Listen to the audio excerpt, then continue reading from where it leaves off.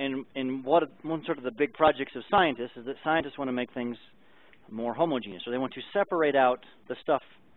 If you go up to, to Cripple Creek, right, and you go to the the, the mine, um, what do they want to get out of the Cripple Creek mine? Gold. So their goal is to find the gold there. Well, there's this huge mountain. I think top drawer. I, I mean, like how many pairs? Lots of pairs, or Yeah, I don't know. Um, is that that's a heterogeneous? There's just it's just a big mountain they're digging up, right? Anybody been up there? You know what I'm talking about? They just got this big the big pile of dirt basically and rocks and junk, and they have to extract out of there the gold, right? And so how do they do that? Well, they have to come up with a process to get rid of the stuff that doesn't matter, the dirt and the junk that's like, well, we don't need this. How do I get it into um, a pure form of gold so I can sell it for $800 an ounce or whatever the price is these days. It's very high these days. So um, that's a problem. And so um, one big job of chemists is to figure out what's a process to separate that mixture out so that I can get the good stuff out, the gold in that particular instance. How do I get it out um, so I can make it economical? And is it worth it? I mean, because you know, actually, there's more gold in the oceans than uh, is imaginable. But the problem is, of course, extracting it from it costs more than the gold's worth. We know how to get it. I can go grab a five gallons of seawater, and um, you can take that and you can extract the gold out of there. Problem is, it costs a lot more money than it's worth because you don't only get just you know I don't know how what the you know five gallons would produce, but just a teensy weensy bit of gold. But there's gold in that water, but it's not economical to get it out. So because the world is all kind of it's all mixed up. Actually, there you kind of have a homogeneous mixture, but it's in a very small, but it's in such a small concentration. To get it out is um, just too expensive. All right, separation. How do we separate mixtures? As you as I kind of said there. So still here. How do you separate a mixture?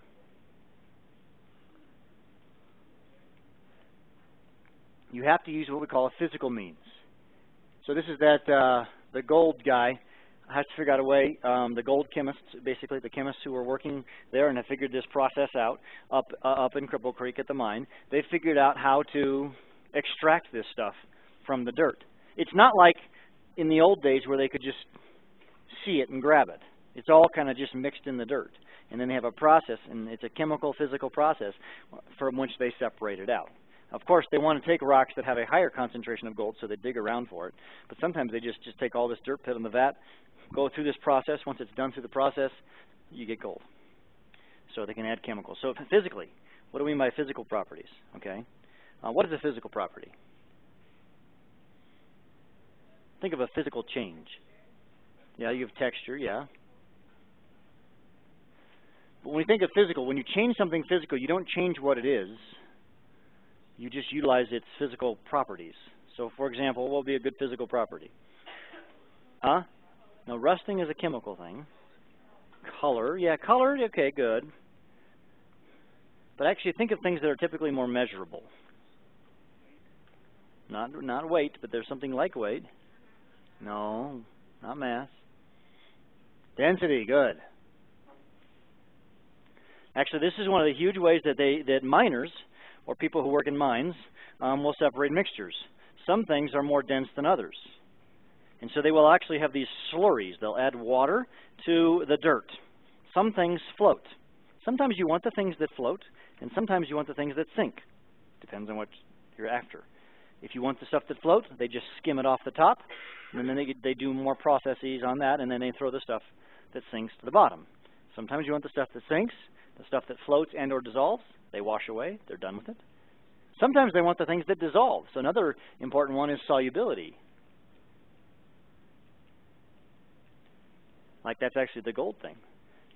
It's gold something. It's actually not. It's not just chunks of gold. It's actually a compound of gold, and they, they, they can use solubility, and then they add a chemical, cyanide, some kind of a cyanide, sodium cyanide, they extract it, and then they do another process. It's quite a big process to get that gold out.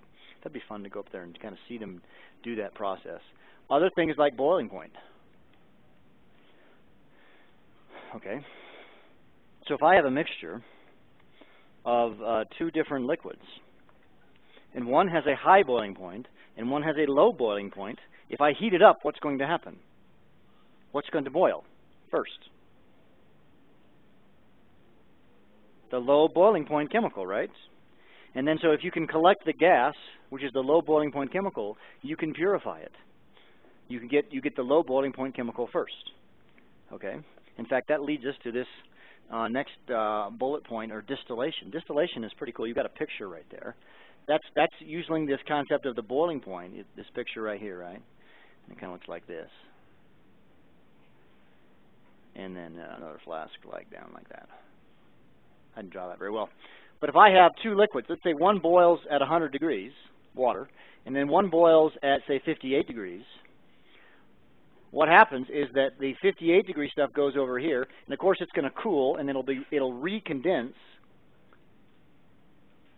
and you will have a pure form of the lower boiling point chemical. In fact, the example I'm using right here, I don't know if you realize this, 58 degrees is the boiling point of C2H5OH. Anybody know what that is?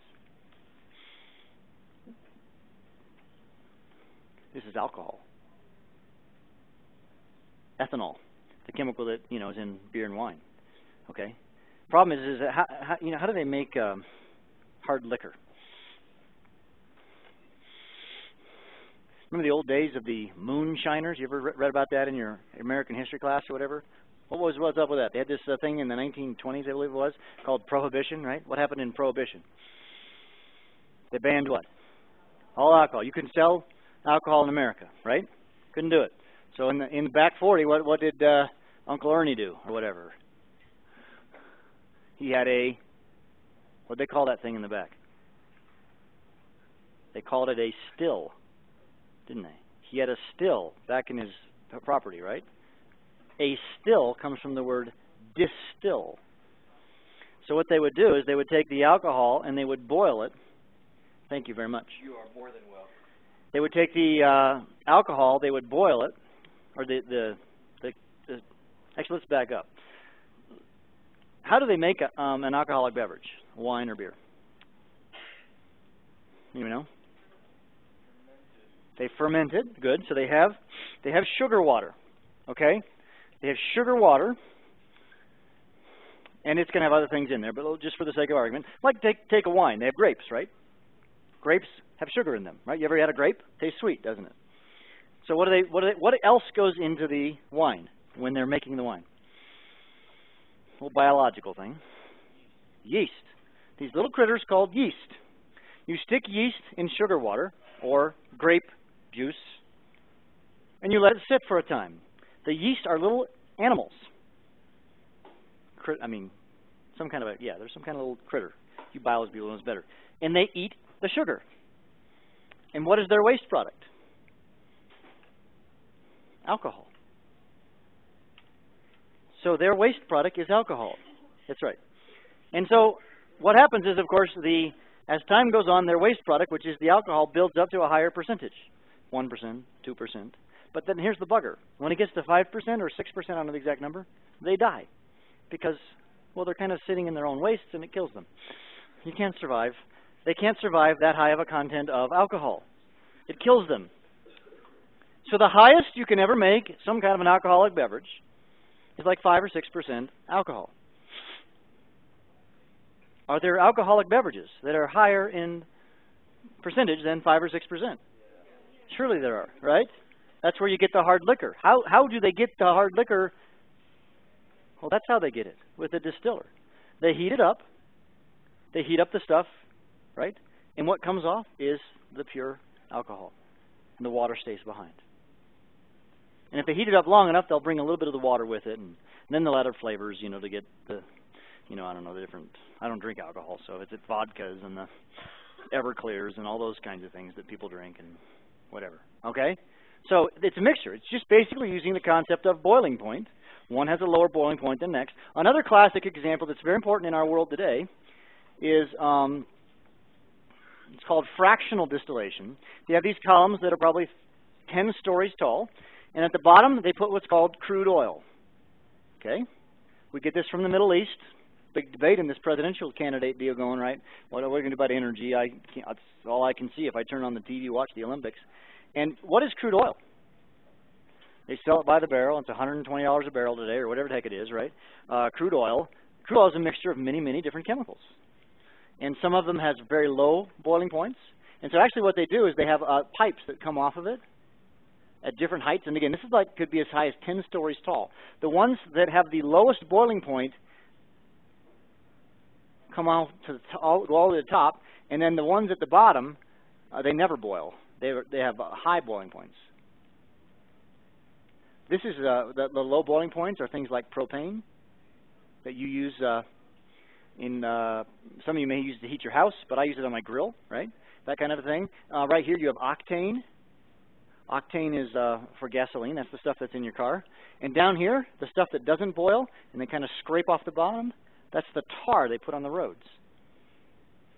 And that tar, of course, you don't want it to just evaporate, right? You want it to kind of stay solid. It's, you, but you've seen you've seen them put tar on the roads. They did a bunch of projects here this summer, right, doing road work and whatnot. And they take it, they, they heat it up, right, and it stinks a lot, right? And then they and then they put it on the road, and then it it solidifies. So they heat it up to its melting point, and it's that tar. So out of a barrel of crude oil, they get lots of different products. They get uh, low boiling point things, and they get high boiling point things, and everything in between. And this is the octane. This is your gasoline and they just have these columns and they, these pipes, and this this goes you know to another pipe that then you know goes to a truck, and the truck sends it to um, your local um, gas station. But some of the stuff goes to other things. One of the other interesting things, they, they usually get too many high, um, low boiling point things, and so then they have another process. It's a chemical process where they call it cracking. What they do is they take the products and then they they join them together and they take the low boiling point ones and they make some more octane because there's a bigger market for octane than there is for propane because we drive cars a lot more than we use propane gas. So, okay. Um, chromatography. I think last year, if you recall, we did chromatography. Uh, one of our first take-home experiments. You know, what you would do is you take a, uh, um, if you have a, a, a solution here. What's a solution, by the way? Let's chat about that. What does that mean? What's a solution? In a solution, you have a two parts of a solution, solute and solvent. So the solute is what you're dissolved in. So um, a, can, a, a can of pop, the solvent is what? Water, good. And the solute is lots of solutes actually, sugar, carbon dioxide, etc. The solutes what get dissolved into, the solvent is what you dissolve. I didn't say that right. The solvent is what you dissolve into, the solute is what's dissolved. Okay? Um, but if I have a particular solution and I want to have, um, and it could be, it also could be two liquids, like, well, alcohol and water, all right? Okay, I don't know why I'm on that tra train. Um, if you then take a piece of paper, and they have special paper, some of it will travel up the paper more than the, the other. And if you look at the picture on the bottom of page two, it's not very, I mean, it's black and white, but those actually have colors, and you can actually separate them based upon how far they travel in the paper. It actually has to do with how attracted it is to the paper or not.